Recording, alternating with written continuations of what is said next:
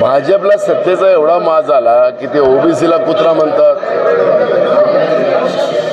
मराठ्यांना मराठ्यांचाही व्हॅल्यू त्यांच्याकडे नाही. आणि त्याच्यामुळे हा सत्तेचा माज आता महाराष्ट्राची जनता उतरवेल. आपण पाहिलं असेल की भाजपचे कोल्हापूरचे नेते त्यांनी डायरेक्ट महिलांच्या बद्दलचे आक्षेप व्यक्त केले. त्यांच्यासाठी ओबीसी असेल मराठा असेल महिला असेल ह्या एकदमच अतिशूद्र व्यवस्थेतले आहेत. आणि त्याच्यामुळे या लोकांचीच गरज त्यांना नाही. त्या पद्धतीचं ते वागतात आहेत. आणि म्हणून याचा आम्ही ते निषेध करतोच. पण आता मराठा समाज ओबीसी समाजाने आणि महिलांनी आणि संपूर्ण जनतेने यांचा माज उतरवण्याची व्यवस्था भाजपची करावी एवढीच विनंती आम्ही करू शकतो.